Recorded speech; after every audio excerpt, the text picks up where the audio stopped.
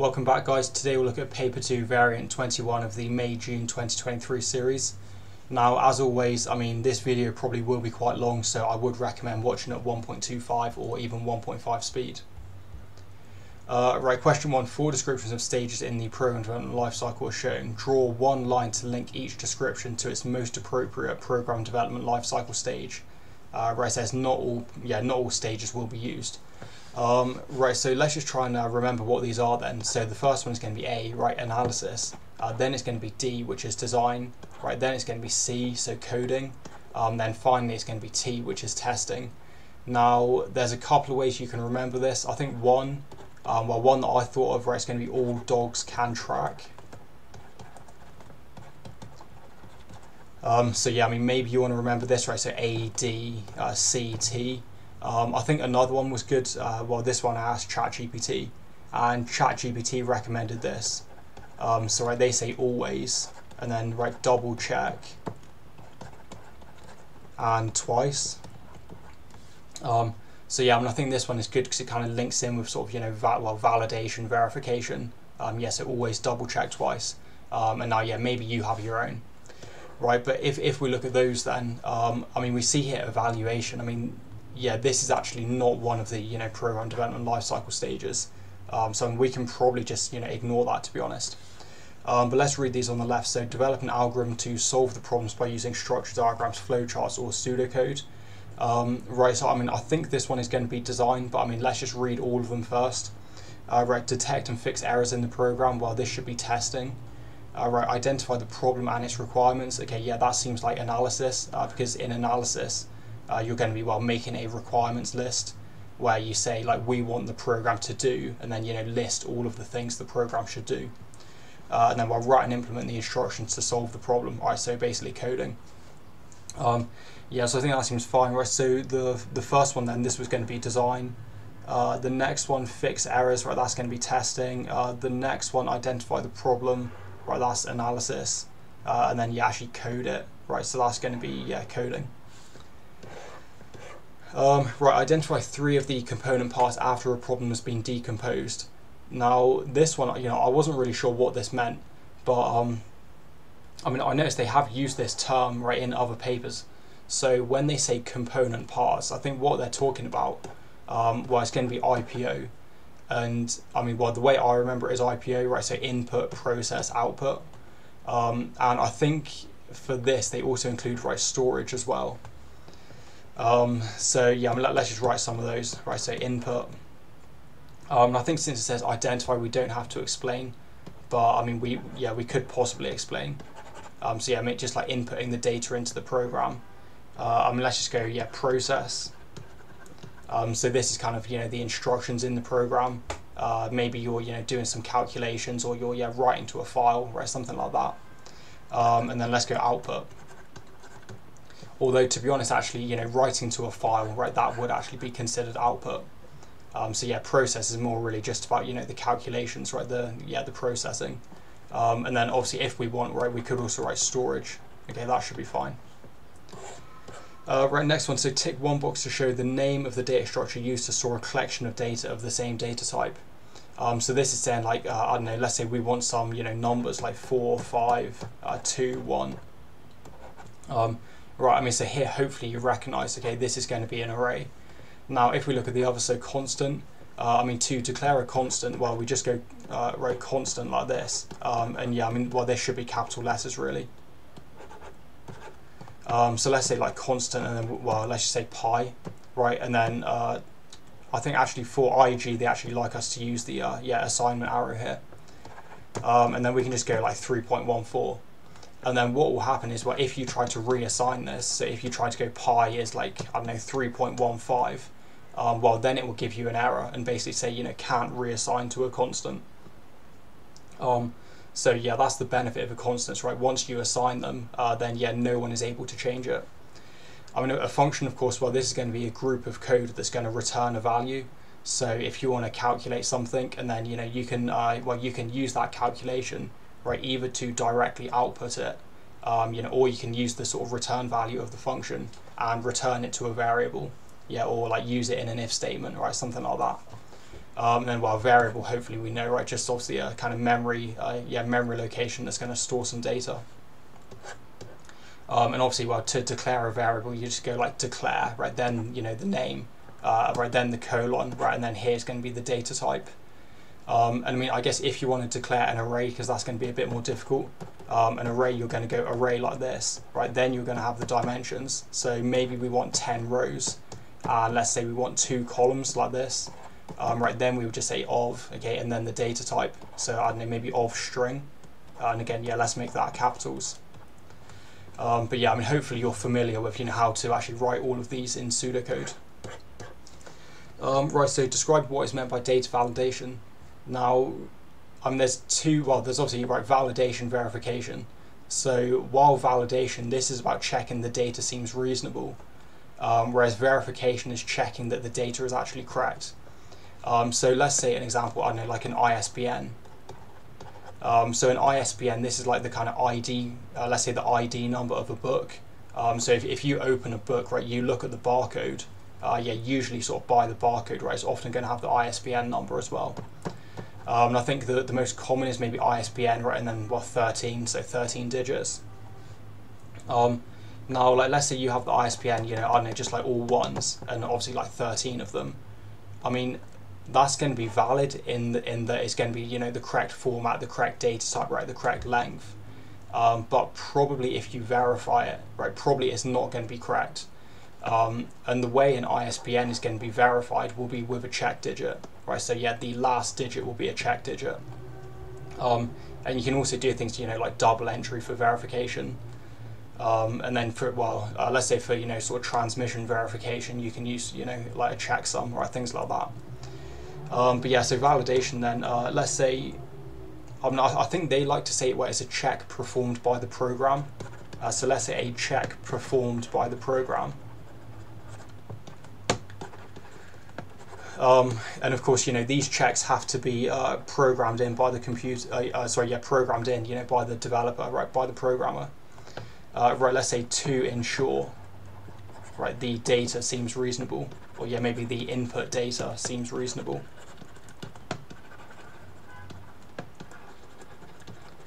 Um, and then I think we can give an example, you know, just to explain to the examiner, uh, yeah, to kind of show that we know what we're talking about. Um, so let's say, for example, um, and then we can mention, uh, let's say, format check, um, or let's say type check, and maybe let's just go length check. Uh, right, yeah, let's go etc. Um, I mean, so format check, it's just checking, you know, is it in the correct format? So something like an email address. Well, an email address, you know, you're going to have, uh, say, a list of uh, maybe alphanumeric characters. Um, so obviously, yeah, letters, uh, numbers. Right? Also, I think maybe underscore, uh, yeah, well, let's say underscore or hyphen, things like that. Um, you know, then of course you're going to have an at symbol, right? And you know, then you're going to have some more, you know, alphanumeric, right? Underscore, um, yeah, hyphens, you know, uh, yeah, these kind of things. Um, so that's going to be a format check. I mean, type is just checking, well, is it the correct data type, right? So is it an integer, is it a string, is it a real, right, etc. Um, and then mean length, well, this will be for a string. So let's say like a password, you want to say, well, the password should be at least eight characters, right? So you're checking the length is, you know, greater than or equal to eight. Um, and then let's say well, if you want to do kind of like a similar thing, um, but if for numbers, right? So for numbers, it's going to be a range check and a range check, maybe you want to check that, uh, let's say a score, right? So maybe some exam score, right? That can be between 0 and 100, for example. Um, obviously, like minus 1 is going to be invalid, you know, 101, right? Also invalid. Um, so yeah, here it kind of says this, uh, validation check is used to make sure that any value that is input is an integer between 30 and 200 inclusive. Uh, right, give one example each, each type of test data to check that the validation check is working as intended. Uh, where each example test data must be different. Uh, yeah, give a reason for each of your choices. Um, Alright, so let's say normal. I mean, normal is just going to be like valid data. So let's say 100. And the reason, uh, let's say 100, right, is within the range. Alright, so within the range, and then what, 30 to 200? Um, right, if we say abnormal, well, abnormal is going to be invalid. So we could choose, you know, 29, 201, uh, you know, 500. Um, I mean, I think for me, let's just go 201. Right, so let's say 201 is is outside the range. Uh, yeah, maybe outside the acceptable range. Um, and yeah, well, let, us just list that again, right? You know, uh, sorry, right, 30 to 200. Um, right then, extreme. So this is going to be either the smallest that's accepted or the biggest that's accepted. So in this, uh, yeah, okay. So here, because it says inclusive, well, inclusive means that 30 would be, you know, the smallest extreme. Uh, 200 is going to be, yeah, kind of the maximum extreme. Now, if it said exclusive, right, exclusive means that, well, 30 and 200 wouldn't be accepted um, or yeah, you know, they wouldn't be kind of valid. Um, so in that case, then, well, if it was, uh, yeah, if it was exclusive, right, the extreme values would then be 31, right, and 199, because again, this would be uh, sort of the smallest value that's, you know, accepted. Um, yeah, this would be the biggest value that's accepted. Um, but I mean here, well, let's let's just say 30. Uh, let's say, I mean, yeah, 30 is the smallest value. uh, right, the smallest value that the program should accept.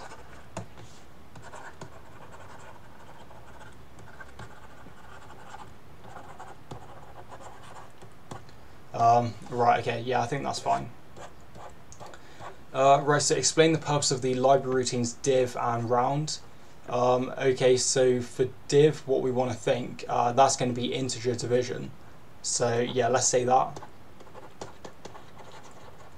uh, right integer, uh, yeah, integer division. Um, and let's give an example.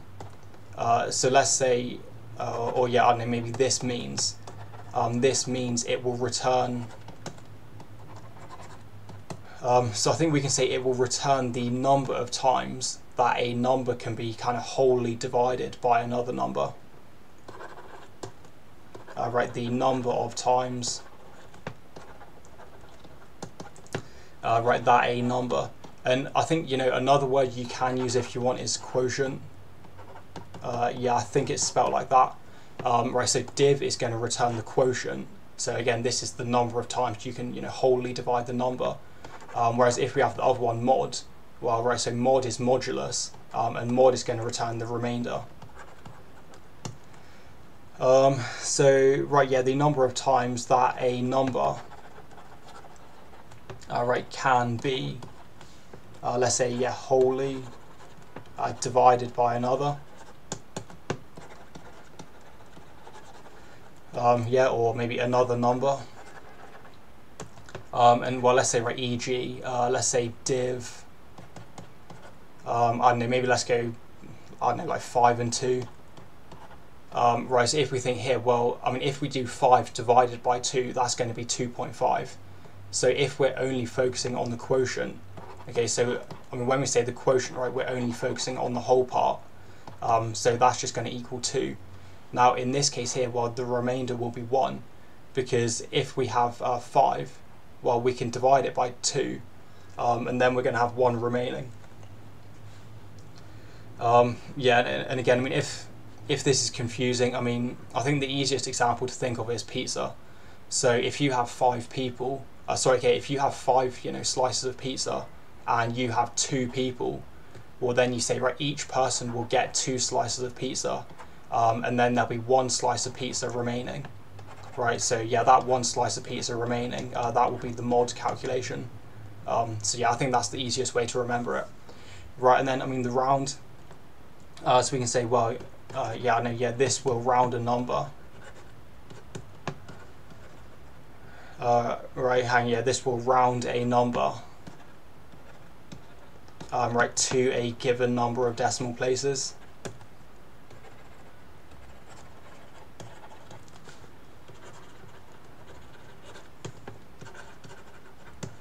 Um, and again, let's give an example, right? So e.g., uh, maybe round, um, and let's say like, I don't know, yeah, one, two, three, four, five, six.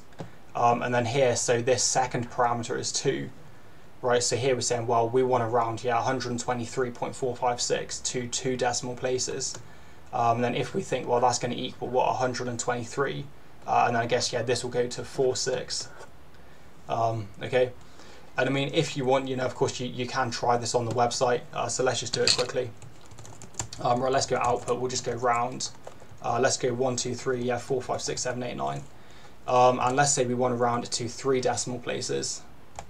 Um, right, of course, well, then it's going to be like that.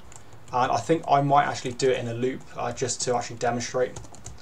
Um, I mean, yeah, well, let, us call it n, right? So n is just going to be the number of decimal places.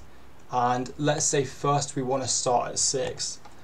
Um, so let's go 6, and then if you remember to loop down, well, we can then go, uh, let's say 2, 0. Okay, but we need a step of minus 1.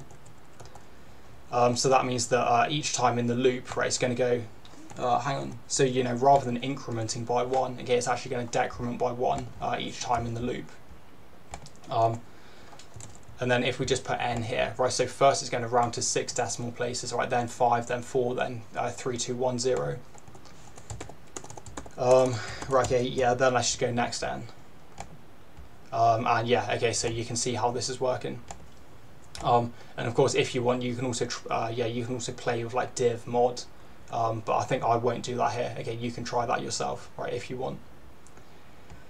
Um, right, so number five, an algorithm has been written in pseudocode to allow some numbers to be input. All the positive numbers that are input are totaled, and this total is output at the end. Right, an input of zero stops the algorithm. Uh, okay, so identify the four errors in the pseudocode and suggest a correction for each error. Um, so I think here, like before I start writing down the errors, I mean, I like to try and find all of the four errors first. Um, so let's just go through line by line. Uh, right, so we assign one to exit. I mean, that seems okay. Um, right, then we say while exit is not equal to zero. Um, and I mean, let's think, right, will this start? So first we assign exit one. Okay, so then we get exit not equal to zero. Well, here one not equal to zero. Okay, so this is true. Um, so yeah, th this means it will go inside the loop. Okay, so that seems fine. Uh, right, then we input the number. Right, then we check if number is less than zero. Right, so if the number is negative, um, and what we're going to do, we're going to do, well, total is, well, total plus number, right? So we're just adding to the total. Um, however, if you see here, well, here we want to add the positive numbers, right? But this is actually checking what if it's negative. Um, so of course, I mean, this one we can, yeah, right, right, uh, this should be greater than.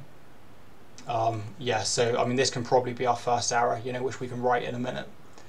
Uh, but I mean, this total plus number, that seems okay, uh, right? So else if number equals zero, uh, right then exit, we assign that to 1.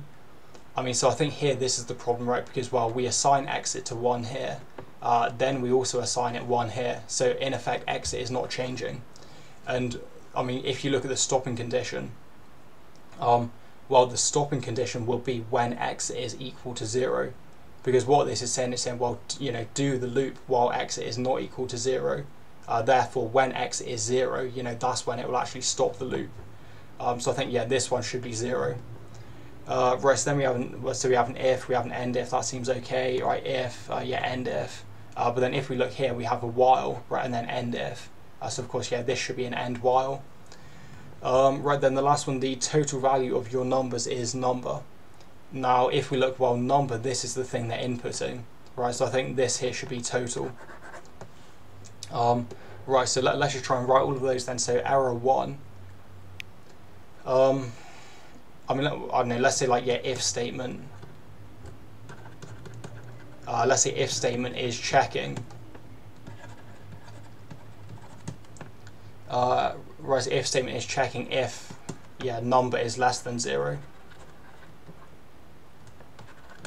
Uh, or may, yeah, maybe if number is negative. Um, right, so let's say correction, and I think here, I mean, let's write the line number. So let's go line 4. Um, and then, well, let, us just write the correct code. So we'll just go if uh, and then number. Um, and let's go, yeah, greater than zero like this. Uh, so I think that should be fine. Right then, the second error. Uh, so the second error, I think, yeah, that was going to be this one. Um, so let's say, yeah, I know, maybe exit. Uh, let's say exit should be assigned stopping value. Uh, yeah, let's say exit should be assigned right zero. Uh, let's put in brackets right stopping value. Um, yeah, let's say if uh, yeah, if the number equals zero. Um, right, so the correction then, that's going to be line 10. Um, and then we just want to go, what, exit. And yeah, just have the arrow and let's just go zero like that. Uh, right, the next one, so that's to be, uh, yeah, that's to be this one, right, line 13. Um, I mean, let's just say, right, no end while.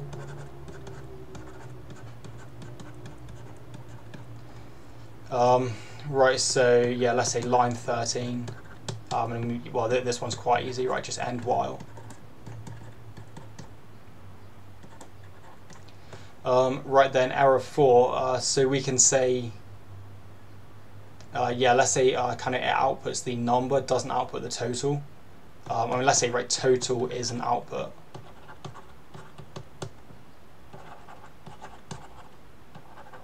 Uh, okay, right output. Um, yeah, I mean, I, I, guess this is quite long to write, but I mean, let's just do it. Right, so output. Um, I mean, actually, right, I'm not going to do it, but of course, in the exam, do it. Right, so yeah, the total value of your numbers is, um, and then here, let's just write total. Um, okay, so that yeah, that should be fine. Uh, right, describe how you could change the corrected algorithm to record and output how many positive numbers have been included in the final total. Um, okay, so I would say like if you've never done this, I mean try to actually program this yourself in pseudocode. Um, so yeah, just count, uh, well let's say like doing the total of the positive numbers, uh, let's say the average, the minimum, the maximum, um, yeah, like it says here, counting how many positives.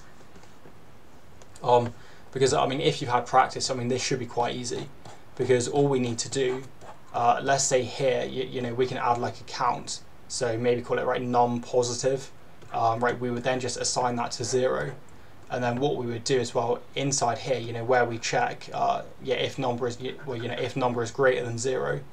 Um, so basically, inside this if statement, right after line six, uh, then we would just do something like this where we go, let's say count, or yeah, like non-positive is well count and then plus one. Um, yeah, so just incrementing the count. All right, and then obviously since it says output, well, on line 15, okay, just output the count at the end. Um, so let's just explain that. Uh, let's say declare a variable. Um, I mean, let, us call it like non-positive. Uh, right, non-positive. Um, right, let's say yeah, and assign it the value. Um, so in here probably you know declare and assign right there sort of keywords they're probably looking for. Uh, right, assign it the value zero. Um, right, let's say inside the if statement.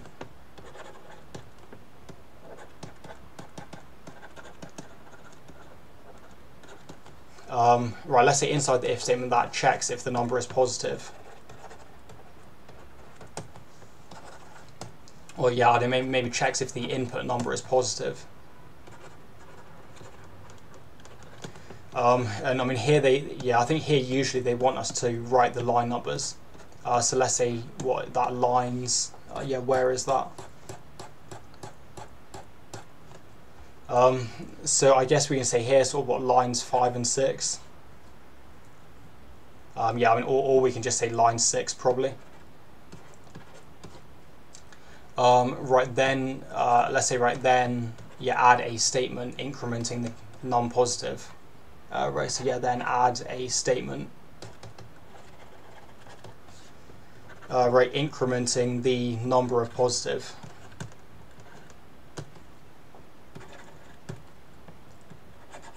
Uh, right, okay, yeah, non-positive variable.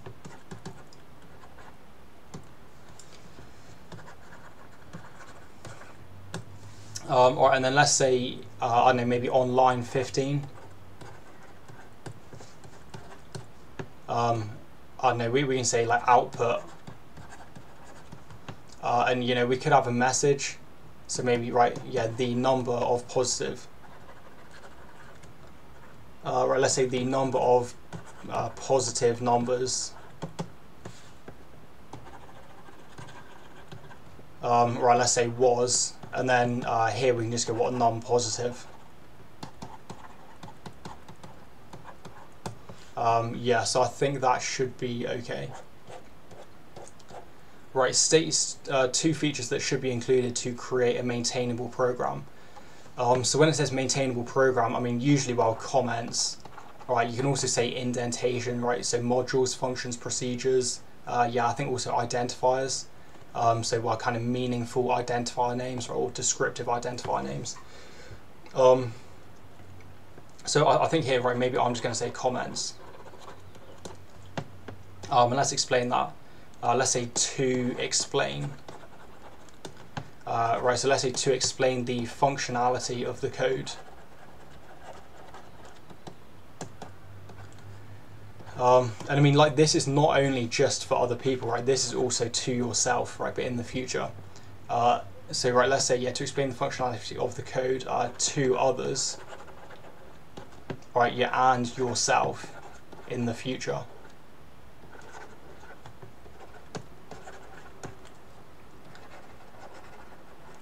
Um, and I mean, I don't know, like probably that's going to be enough for two marks.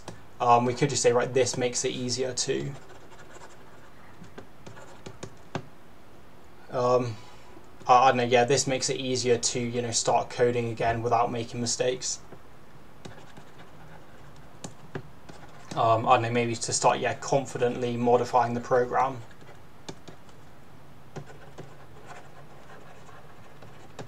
You know, uh, uh, yeah, maybe and being less likely to make a mistake.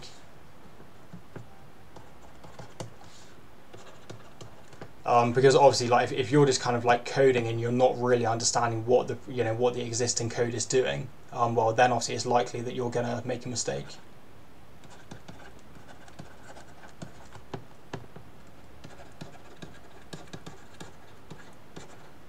Um, right, so I think the next one I'm probably going to say use modules. Um, and then when we say modules, well, let's put in brackets. Uh, I mean, well, right, let's go functions. I say functions slash procedures. Uh, right, okay, yeah, procedures. Um, and let's say the reason for this is, well, to, uh, let's say to avoid or limit dupli uh, duplication. Uh, right, let's say to limit duplication, um, yeah, make code more organized. Uh, yeah, I know. I mean, I mean, probably you say right, break code down into smaller, like, like uh, let's say smaller, more manageable chunks. Uh, right, break code into smaller, uh, maybe yeah, more manageable, right, or you know, easier to understand. Um, right, yeah, and easy to understand chunks.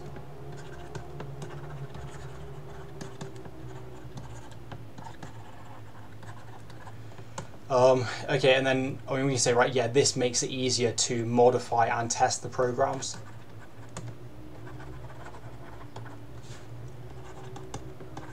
Um, because if you think, you know, you can test like each function or each procedure individually, Whereas if you have some massive, like, I don't know, 500 lines of code, right, that's going to be quite difficult to test. Um, whereas, yeah, if you have lots of like 10 or 15 line procedures, um, right, they're going to be easier to test. Um, right, that's, yeah, let's say this makes it easier to test, uh, right, and modify the program.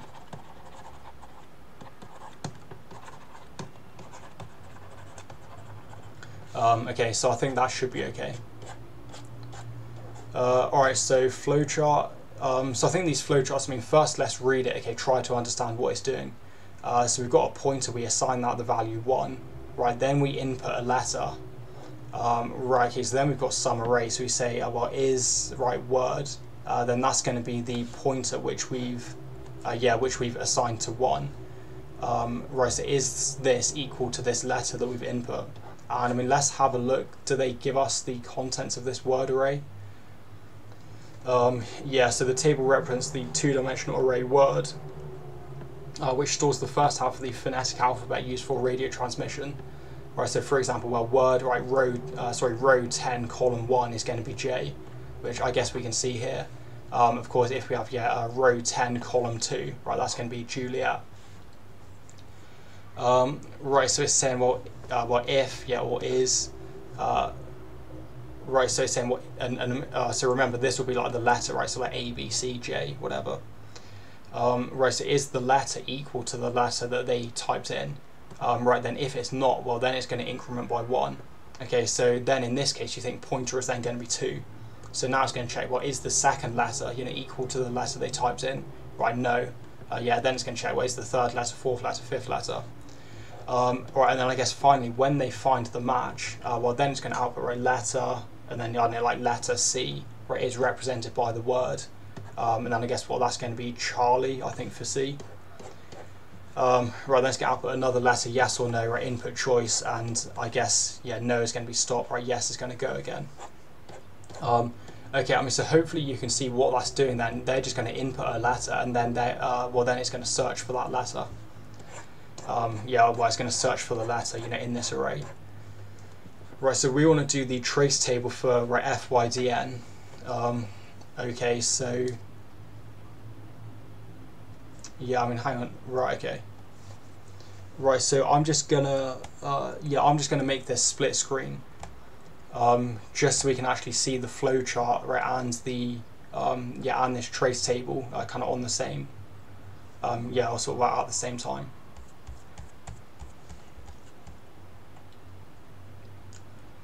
Um, right, okay, so the first one then, well, pointer we're going to initialize to 1.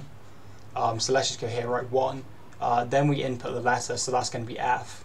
Uh, right, so is, I mean, yeah, well, so is like sort of 1 equal to letter. Um, I mean, that's going to be false, right, because uh, this first one is just going to be A. Um, right, so well, then the pointer is just going to increment to 2, right, again, it's going to be false. Uh, right, then the pointer is going to go 3, uh, right, 4, yeah, 5. Um, then I guess F is going to be 6. Yeah, okay, so F is then going to be 6. Um, so here when we get to 6, uh, well, so, I mean, here we're saying, what well, is word, and then so this is going to be row 6, column 1, right, is that equal to F? Um, so in that case, that's going to be true, so let's just write this. Uh, right hand, so right, yeah, letter. Uh, so let's say letter F, uh, right, is, yeah, represented by um, I mean, here I don't have space to write it, but yeah, of course, in the exam, your handwriting is going to be smaller. Um, so it is represented by, and then is that what Foxtrot? I think. Um, I mean, let's check. Uh, yeah, okay, Foxtrot. Um, right, then it's going to output another letter. So I mean, let's also write that. Uh, yeah, right, another. Um, again, right, I'm not, I'm not going to write the whole thing, but in the exam you should. Um, right, and then the choice. Okay, so here the choice is Y, right? So that's yes.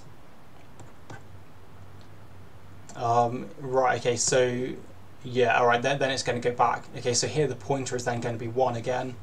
Um, right, they're going to input the letter, so D. Um, then if we think, well, then the pointer is going to go 2, 3, 4. Um, of course, 4 is going to be D. Uh, so then I guess we're just going to output the same. Um, so yeah, like what letter D um, and I mean, wait, what is D? Uh, okay, delta. Um, yeah, again, obviously in the exam, you know, write down the whole sentence. Uh, right, then we're going to go another. Um, right, and then I guess here they then enter n. Um, yeah, and then in which case here it's just going to stop. Um, yeah, okay, so I think that's, yeah, I think that should be fine. Um, so let's just maximize this again. Um, right, so here then, identify the type of algorithm used. Now, really, when it says the type of algorithm, I mean, basically it's going to be, well, either linear search or bubble sort. And in this case, this is just going to be linear search. Because what we're doing is, well, we're starting at the first element in the array, checking that. Uh, then we're going to, you know, the second element, the third element, the fourth element. Uh, right, let's say describe one problem that could occur if an invalid character was input. Um, right, so let's try here, for example. Uh, I guess when it says invalid, you know, we can think like Z, for example. Right, so what's going to happen if they input Z? Um, right, so I, I, guess here, well, it's going to get to, let's say, 13. Right, so it's going to search all of them. Right, then the pointer is going to go to 14. But in this case, like, they, they, well, there is no element 14, so it's just going to crash. Because, uh, yeah, you're going to get this uh, kind of array out of bounds exception. Um, Right, so let's say that. Uh, right, so let's say, yeah, if the character doesn't exist in the array. uh, right hand, yeah, character uh, doesn't exist in the array. Um, or let's say in the word array. Um, right, let's say then, uh, right then the pointer will go to value 14. Or yeah, maybe will be incremented to the value 14.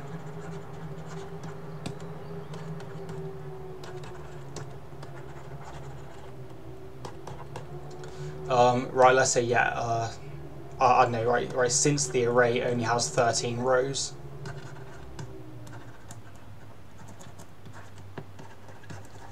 um, right, since the array only has 13 rows, um, right, then the program will crash.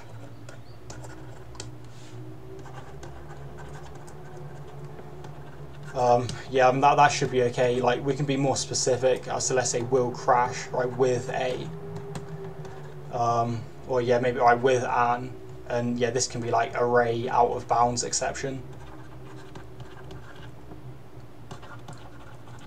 Um, or you could say maybe like, uh, yeah, an array index exception. Um, and I mean, when we say exception, right, exception just means error, okay, something that will crash the program. Um, right, so the function length, right, and then takes a parameter, uh, calculates the length of a string phrase. Right, write pseudocode statements to store the string, okay, this, the beginning is the most important part in phrase. Um, right, then we want to calculate and output the length of the string and output the string in uppercase. Um, Alright, so I mean, of course, well, yeah, I, I could just write it here, but I'm actually just going to copy this um, and let's just run this on the website. Um, right, so first, I mean, let's just declare something called phrase. I mean, I think in the exam, yeah, you don't have to declare this, um, but I mean, it also doesn't uh, doesn't really hinder you, right, if you do declare it. Um, right, so then is it we just want to output the length of this? Uh, yeah, so just output the length, right, and then just output in uppercase. Uh, right, so let's go length of phrase. Um, then finally, let's just go output, and this will be UCASE of phrase.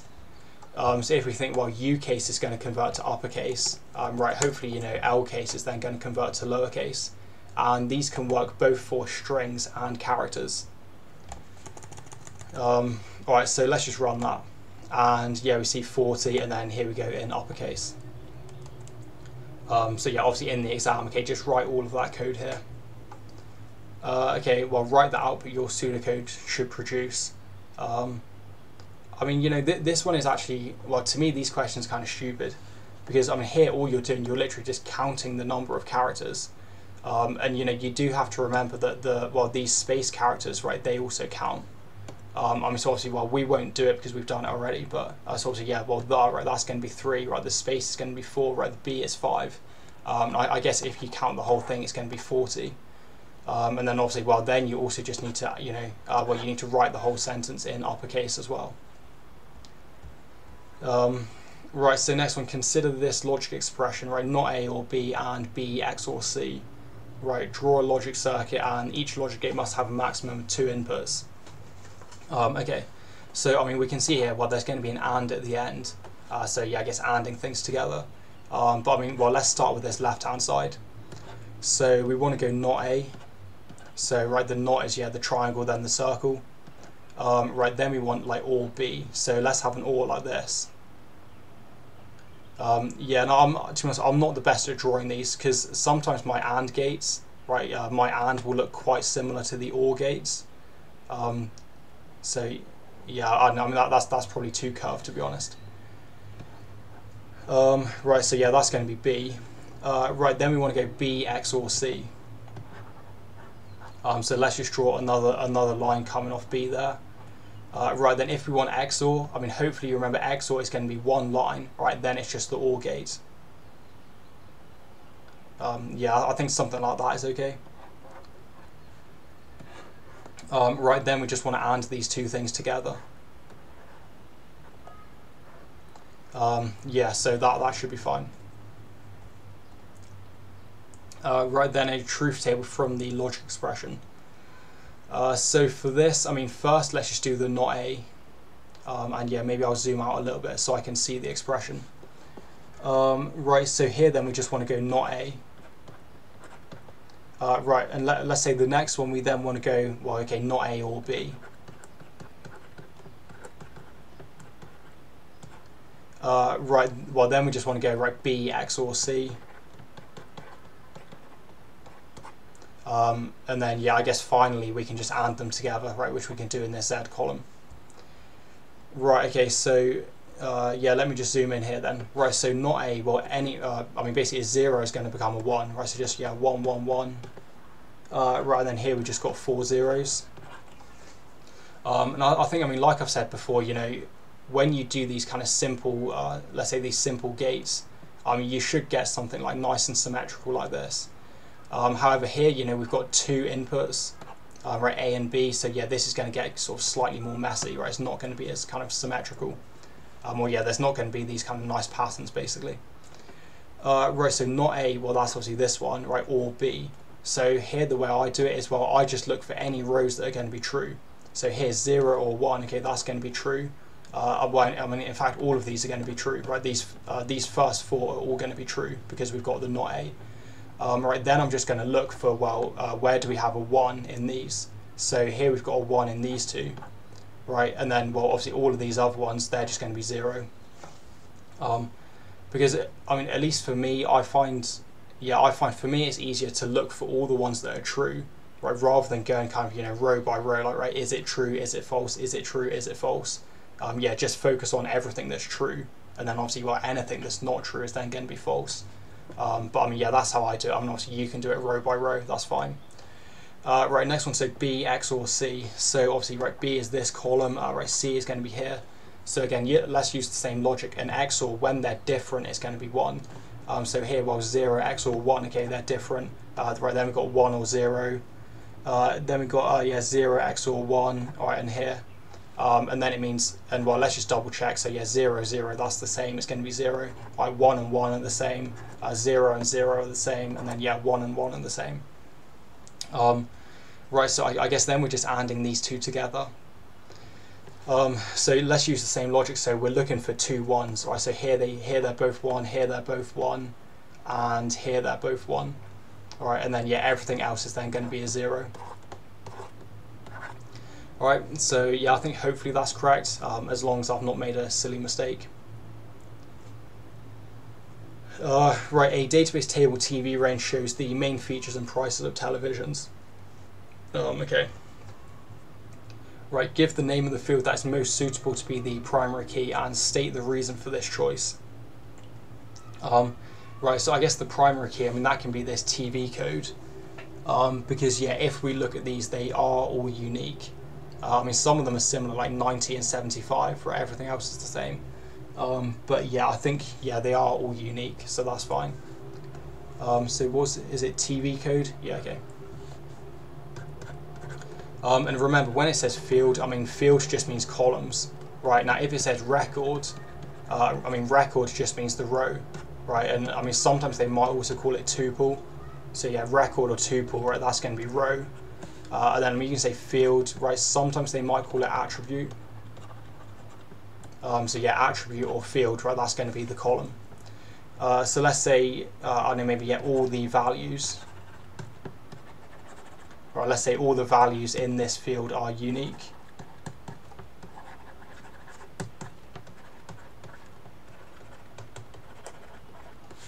Um, all right. Right, so the database uses these data types, right, text, character, boolean, integer, real, and then date time. Uh, right, okay, so yeah, use the correct uh, data type, and then each right each data type must be different. Um, so let's say TV code. I mean, well, that's going to be, I mean, well, basically a string, right? So string here is just going to be text. Uh, right, screen size. I mean, let's have a look. Yeah, so that's just going to be an integer. Um, because obviously, well, they're whole numbers and I'm not, I think usually these questions are quite easy. You know, most people can do this. Um, smart TV, well, yes or no, right? So I mean, true, false. It's just a boolean. Um, and yeah, I'm not. I, I, guess well here, like boolean is going to be big B. Um, right then, price. I mean, I guess that's going to be a real. Uh, yeah, because it has got decimals. Um, so yeah, price we can just go real like this. Right. So I think yeah, the the last question before the 15 marker. Yeah, okay. Um, right, complete the structured query language SQL query to return the television code, uh, right, screen size and price of the smart TVs in the database. Right, okay, so the three things we want to select, well, we want the TV code, uh, we also want the screen size, which I guess, right, that's the name of it here. Um, and of course, yeah, make sure you're sort of using it exactly the same. Uh, so like right here, it's big S, big S. Um, I mean, I think in real life it would actually work, you know, with uh, kind of incorrect capitalization. Um, but I mean, yeah, for the exam, make sure it's the same. Uh, right, and then we want price. Um, and yeah, well, then you have price uh, dollars like that. Yeah, okay. Um, you know, now to be honest, I'm not sure you could actually use a dollar right in in a column name in real SQL. Uh, yeah, maybe you could, but I'm, I'm not too sure. Um, right, so then we want to go from. Because if you think, well, the, the syntax of select, you, uh, you go select, right, then you want the columns that you want to select, or, uh, well, not the columns, right, the fields you want to select, right, then you say from, okay, then it's the table you're selecting, uh, well, the table or relation that, you know, you're selecting the records from, um, and yeah, then you can have some condition. Uh, so well, let's go right, where smart TV, and I think here they, well, they go yes. Um, I mean, in real life, it's going to be true, false, but yeah, I think here in the exam, I mean, um, since it says yes in the table here, right, well, let's just use yes here. Okay, welcome back guys. So in this video, we'll look at the May-June 2023 paper 21. Um, and again, this is going to be the 15 mark question at the end of the paper. So if we just read through this uh, to understand what they want us to do. okay, it says a one-dimensional or 1D array called days contains the names of the days of the week. There's also a two-dimensional array called readings, and this is used to store 24 temperature readings taken once an hour for each of the seven days of the week. Right, there's also a 1D array called average temp or average temp, and this is used to store the average temperature for each day of the week. The position of any day's data is the same in all three arrays. For example, if Wednesday is uh, index 4 of days, then Wednesday's temperature readings are also in index 4 readings, and Wednesday's average temperature is in index 4 of average temp. Uh, for validation, well, yeah, the temperature readings are in Celsius to one decimal place, and we need to validate that they're between minus 20 um, and 50 Celsius. Now, uh, well, this says inclusive, so when it says inclusive, this means that minus 20 and 50 would be allowed. Okay, so effectively, you know, greater than or equal to minus 20 um, and less than or equal to 50. Now, if it said exclusive, right, that would mean that, well, these two values, you know, wouldn't be allowed.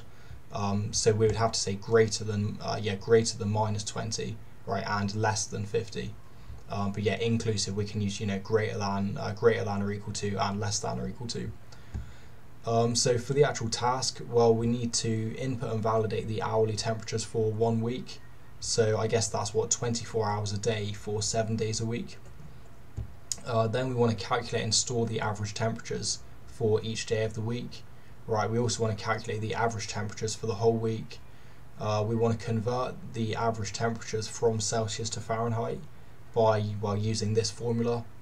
Uh, then we want to output the average temperatures right in both Celsius and Fahrenheit for both each day right and also for the whole week. Um, Alright, and then as always it says, well, we can use either pseudocode or program code. We need to add comments.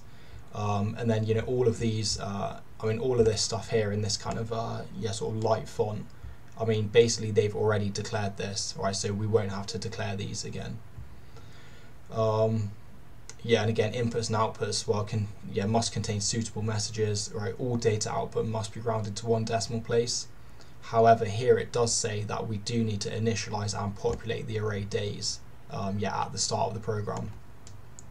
Alright, so I'm just going to show the structure that I've, uh, well, that you know we're going to use. Um, so I mean, here is going to be the days array, and notice that it said Wednesday is day four. Okay, so that means that day one must actually be Sunday. Um, so yeah, don't make the mistake of thinking, you know, day one is Monday, uh, because of course, well then Wednesday would be day three, right? So it's uh, yeah, it's a little bit weird, you know, starting day one on Sunday. Um, but yeah, I guess that's what they've chosen. Uh, right, and then for the array, I mean, honestly, we could, you know, we could choose to do it the other way, where we have uh, the days as the columns and you know the hours as the rows. Um, but I think here this is easier because, well, you know, when we're looping through an array, right, we're going to loop through the columns first. Uh, so yeah, here we're looping through the days.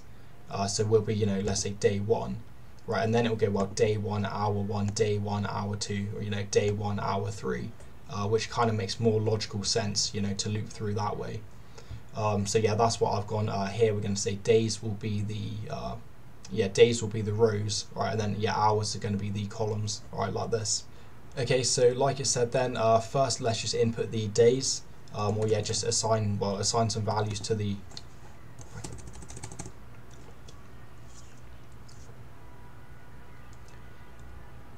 Okay, so first let's do what it said and just initialize the days array. Uh, remember to start Sunday as being day one. So if we just go days, all right, let's go one, and then yeah, this will be Sunday. Uh, okay, and then I'm just going to copy this. Uh, I think, yeah, that's seven. Um, and then, well, let's go days index two, right, index three, four, five, six, seven. Um, and of course, yeah, just well, type out the days like this. Uh, all right, I mean, well, let's try and spell it correctly.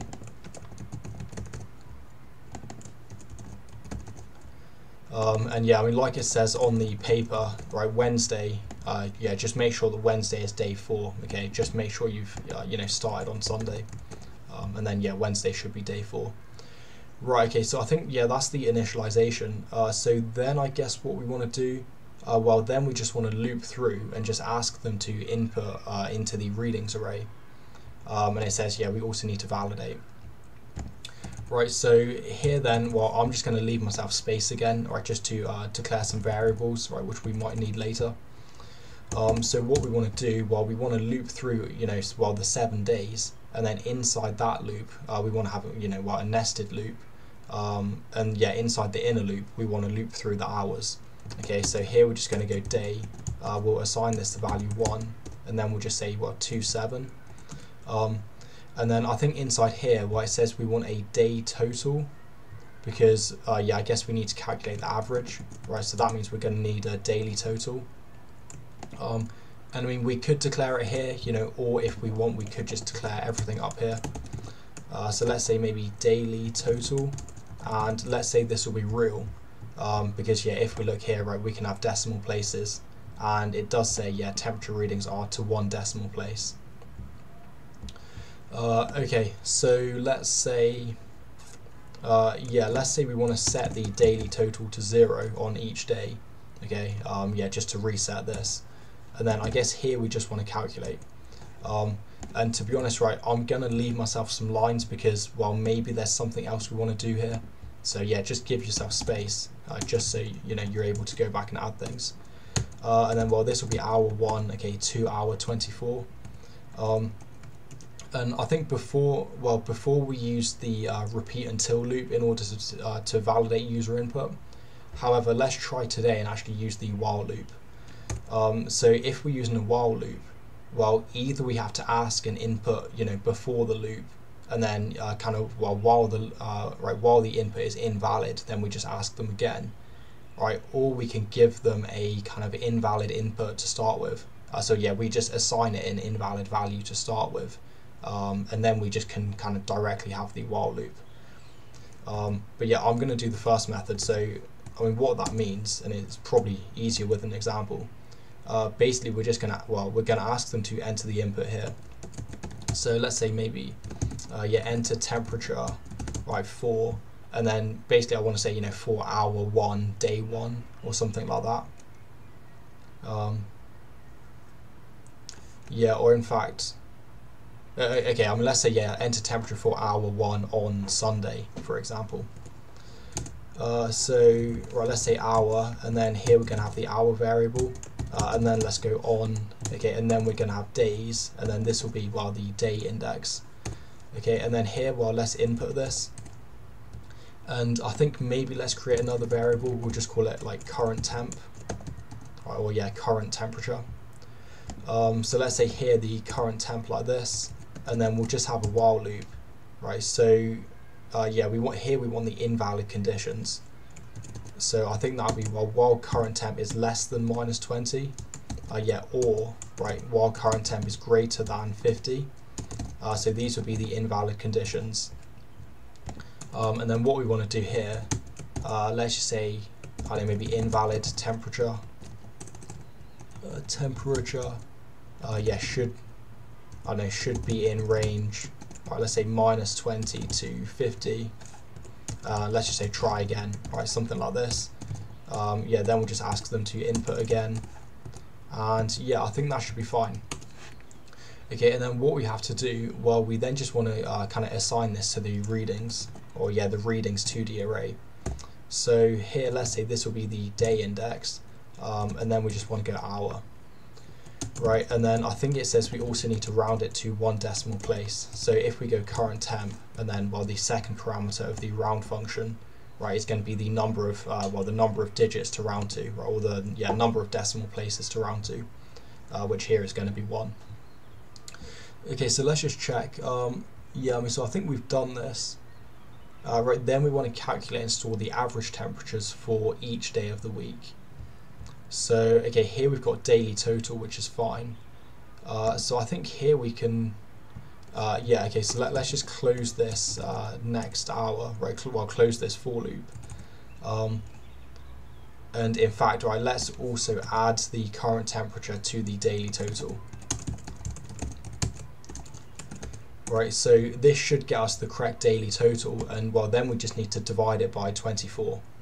Um, so let's say here this will be average temp, right? Then we want the day index, uh, because remember we want to store the well, we want to store the daily average temperature, you know, in this array, um, yeah, at the correct position. Uh, right, let's say again we're just going to round it, and I think what we want is going to be the daily total, right? And then we just want to go what divided by 24 um, because of course here we've you know plus this for 24 hours um, and again let's just round this to one decimal place. Um, yeah I think that's okay. Alright and then I think what we want to do well we just want to then uh, I get you well just output this in both Celsius and Fahrenheit. So right let's try something like this if we go output uh, and we just want to say you know Monday average temp or sorry yes yeah, Sunday average temperature um, and then you know well the average temperature. Uh, so let's say this will be days, right? Then it will be the day index. Uh, let's go yeah average temperature. Uh, here let's just say Celsius, and right so here this is just going to be the average temp of day. Okay, so yeah, quite simple. Um, right, then I'm just going to copy this, uh, and then right, let's say this one is going to be Fahrenheit and then I think here they say what multiply by 9 divided by 5 um, and I mean if you want you can also have this in brackets. Um, but mean yeah it, well it will also work without brackets. Uh, and then you just want to do plus 32 at the end like this. Now again I mean I will be explicit and just put it in brackets. Um, yeah just to you know make sure the order uh, the order of operations are correct. Um, however this shouldn't need brackets anyway. Uh, because well you know uh, I guess it is going left to right and then uh, yeah sort of well multiplication is you know higher precedence than the addition. Um, and yeah of course this is going to do before the addition as well. Uh, right so I think that's okay. And then yeah then we just want to store the average temperatures for the whole week. Um, so right I, I think here then we're going to want another variable. Uh, let's call this, for example, weekly total. Uh, and then what we can do, well, we say that the weekly total uh, will just be, well, the weekly total plus the daily total. Yeah, not, i think that's fine. Um, I mean, there's actually two ways we can do it, right? We, we could either go, uh, well, the weekly total is, uh, yeah, the weekly total plus the daily total right? But then we would have to divide it by, well, you know, 7 multiplied by 24, so whatever that's going to be. Um, right, or we could just do weekly total is weekly total uh, plus the daily average temperature. Um, and then we would just have to divide it by 7, right, because there's 7 days. But I think, well, I'm just going to do plus the daily total, because basically here we're going to get less rounding errors. Uh, whereas yeah, if we're if we're plotting this, you know, average day or yeah, the average temperature for each day, uh, well, of course, then we're rounding seven times. So yeah, the rounding errors are going to become you know more extreme. Um, but yeah, I think that's okay. And then if I just go next day, uh, and then let's, I mean, honestly, I'm just going to copy this. Um, and then probably let's make another variable, we'll call it weekly average. Right, and then in order to calculate this, um, and right, note how, you know, the week we have to do outside of these two loops. Because of course, well here, this is looping through all of the hours in one day. Uh, here, this is obviously looping through, you know, seven days of the week. Um, so yeah, when we've, you know, looped through both of those, right, that's when we've looped through, uh, well, yeah, all the days, all the hours. Right, so I think this one then, this is going to be, uh, right, this is going to be the, uh, I think, yeah, weekly total. Um, right, and then we just want to divide that by, well, 7 multiplied by 24 because basically, I mean, well, this weekly total has just added up all of the hours, um, which of course is going to be, well, 24 hours a day and yes, seven days a week. Uh, so I think that's fine. And then if we just go weekly average here, uh, right, and then this, yeah, average temperature. Uh, okay, hang on, sorry. Yeah, that shouldn't be the variable, right? This should just be the string. Right, so yeah, weekly average like this. Um, right, and then the variable should be here. Um, Alright, I mean, so I think, yeah, maybe that might work. Uh, is there anything we missed? And I, I, guess, actually, I do need to round this one. Um, because, yeah, this, this has already been rounded. Uh, but I guess, yeah, this one won't have been rounded. Um, yeah, I mean, maybe uh, maybe we should also round this as well because we're multiplying. Alright, so yeah, let's let's just make sure just to round this. Uh, I mean, th this one, you know, technically we don't need to round because, well, we've already rounded it here. Um, right, I mean, let's, mm, yeah, okay. Uh, I don't know, I mean, maybe let's just round it here, right, rather than doing it, uh, yeah, rather than doing it here, you know, and doing it here as well. Uh, okay, and then one. Um, Alright, so let's just recap, check we've got everything. Right, so input and validate hourly temperatures, yeah. Calculate the average for each day, yeah. Right, the whole week. Yeah, I mean, so I think that's everything. Um, so let's just test this, right, just to see if it works. Uh, right, so, okay, uh, right, so here let's just try 10. Uh, I mean, let's try and give it some invalid. Again, you see it's gone to hour 2, which is fine. Uh, let's try like minus 30 yeah, invalid temperature. Okay, let's try 60. Uh, again, also invalid temperature. Well, let's try 50.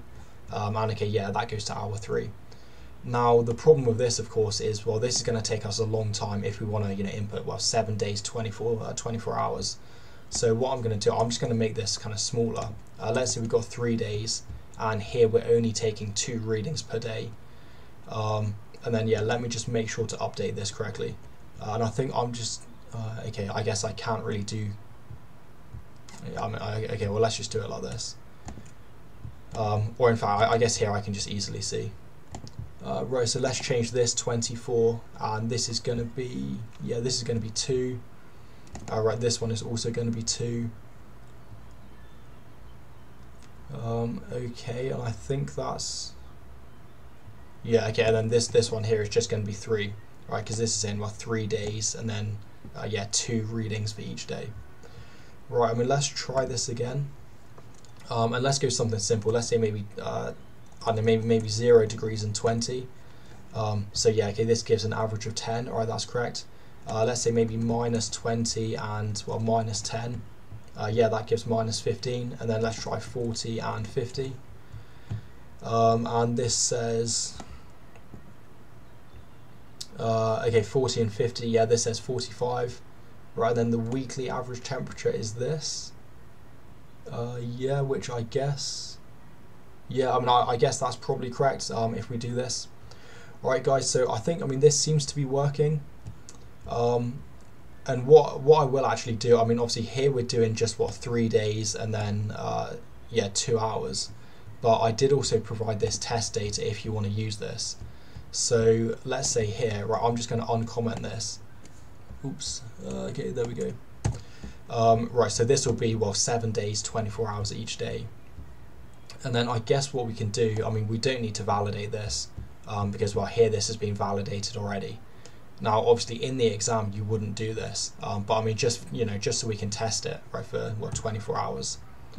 Uh, so right here, we don't need to input anymore. Um, okay, we also, yeah, I mean, we also don't need to do this uh, assigning to the readings. But I guess what we will do is, well, this readings will be uh, the value we're plotting to the daily total. Right, and then let's make this 20, uh, 24, and we'll make this seven days and I think this one uh, what this is going to be yeah so hang on this was 24 right uh, yeah this one is also 24 and then the 3 that was the 7 um, alright so I think that's everything and then yeah if we try and run this uh, okay I mean yeah so that seems to work uh, Sunday is saying this um, yeah and I mean honestly it's a bit difficult to check because well, you'd have to you know add these all up manually. Um, but yeah, I mean, I'm pretty sure this is working. Right now, I guess well, the next thing then we just want to add comments, and yeah, this shouldn't take too long. So let's say here we're just going to be initializing uh, the days. Yeah, I guess the days array you know, with day names. Um, right, I mean, let's say uh, yeah, declaring uh, you know real variables. Right, this one is just well looping through each of the days, uh, looping through all seven days. Uh, yeah, maybe let's say resetting that daily total to zero. Um, and then here, well, let's just say looping through 24 hours. Uh, right, I mean, uh, okay, hang on. Right, look, I'm just going to uncomment this because uh, right current temp. Um, obviously, you know, in the exam, we yeah we want to use this. Uh, well, you, you know, we want to use the actual real code that we would have in the exam. Um, or mean, let's say here, I would say yeah prompt uh, for temperature input. Uh, rather than this one, we'll uh, let's just say validate. Sort of validate temperature. Uh, or yeah, okay. Let's say keep asking. I keep asking for temperature until in range 20 to 50. Um, and yeah, that's well minus 20 to 50, and that's going to be Celsius. Uh, this one.